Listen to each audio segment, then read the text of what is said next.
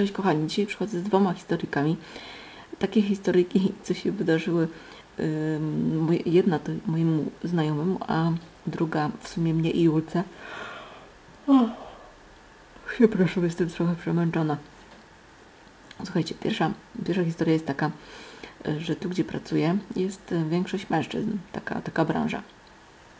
I słuchajcie, nasz zakład pracy mieści się między, tak głupio zabrzmi, że między, no ale tak jest usytuowany, że między Biedronką a Netto i mm, jeden z moich kolegów z pracy umówił się w ciągu dnia, to znaczy rano się umówił ze swoją żoną, że w ciągu dnia e, zapowiadali bardzo mocne opady deszczu i się umówił z nią w ciągu dnia, że po prostu e, podjedzie po nią do do domu i zabierze ją z dzieciakami y, do Biedronki, zrobi zakupy i potem ją odwiezie do domu.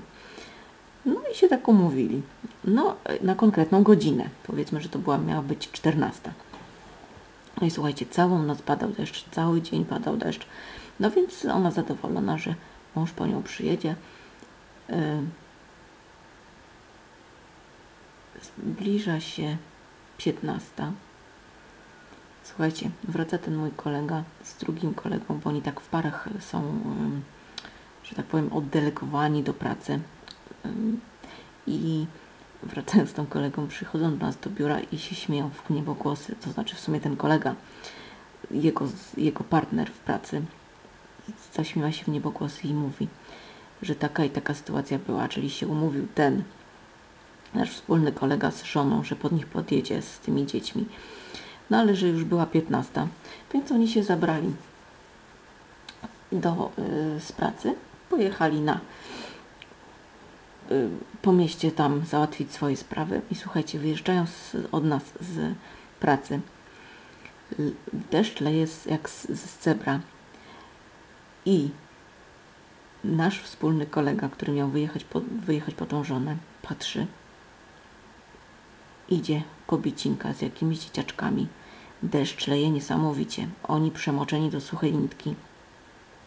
A on, podjeżdżając autem, otwiera szybę i mówi do tej kobiety tak. Gdzie, babo, leziesz w taki deszcz z tymi dzieciorami? Ona tak podniosła głowę i tak. Oj, oczy jak pięć złotych. Nasz kolega, dobra, wsiadaj. Słuchajcie, okazało się, że to jego żona.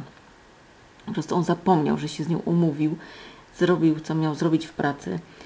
Wyjechali na miasto, no i się okazało, że ona z tymi dzieciakami już nie, nie mogła dłużej czekać.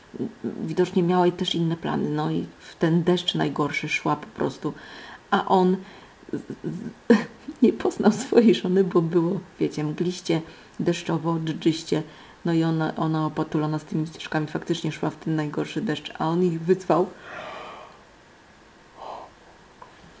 gdzie ty kobiecino lecisz, leziesz z tymi dzieciorami? I się okazało, że to jej, no i wsadzi, weszli do samochodu i odwiózł jej do domu.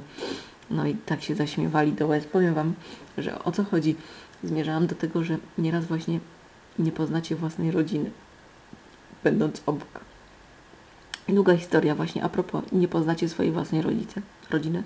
Słuchajcie, moja babcia, czyli Julki też prababcia, zresztą obchodziła niedawno 90 lat, 90-lecie. E, więc idziemy na Wigilię. E, a że umówiliśmy się tak, że my mieliśmy jechać samochodem swoim, czyli ja, mąż i Julka, ale mąż no, nie mógł, bo nie, nie zdążył dojechać po prostu. Więc Julką mówimy, a nie będziemy dzwonić po dziadków, czyli moich rodziców. E, więc oni sobie pojechali swoim autem ze swojego domu, no sobie z Julką poszliśmy na spacer. Było fajnie. Trochę leżało śniegu, ale wiecie, jak to w Wigilię. Ale ogólnie było w miarę przyjemnie. Nie padało, nie dżdżyło, nie było jakiegoś wiatru, nie było i tak dalej, więc w miarę było ciepło jak na Wigilię. Więc wybrałyśmy się na spacer. No idziemy w połowie drogi, patrzymy, a tu dziadki jadą, znaczy moi rodzice, a Juli dziadkowie. I Julia jeszcze tak zrobiła, ręką tak machnęła, tak jakby chciała ich żeby, żeby przywołać, żeby się cofnęli, oni naprawdę jechali bardzo powoli, ja wiem, z 15, góra 20 na godzinę. Także oni nas widzieli, że my idziemy, ale tak wiecie, my okaputurzone obydwie, więc więc y, nie poznali nas. Jeszcze ja miałam nową kurtkę założoną, mimo że ja y, noszę tylko czarne kurtki, więc w sumie ciemna, ciemna. No Julka miała też nową kurtkę, bo sobie kupiła parkę, a ona jest taka, jak to Julia mówi, gaciowy róż więc w sumie nas nie poznali. Ale z drugiej strony nie było żywego ducha, tylko ja z Julką szłam chodnikiem, obok nas przejeżdżali rodzice i nas nie poznali. Dochodzimy do babci, oni już byli oczywiście, bo to była kwestia tam pięciu minut. Więc wchodzimy do babci, o cześć, super, fajnie, że nas nie poznaliście, nie? No i właśnie się okazało, że nas nie poznali. No tak to właśnie bywa. No akurat my nie dostaliśmy opieprzu, ani nic tam się nie stało, po prostu no wyszło jak wyszło, tak? No ale tutaj nasz kolega rzucił wiązankę, no może nie ostro, ale faktycznie y, zrobiło mi się żal tych dzieci, że jakaś tam matka ciągnie te dzieciaki po, po tej burzy, po, po, tym deszczu, a się okazało, że to jego własna żona. Także dzięki wielkie za uwagę, do usłyszenia, pa, pa.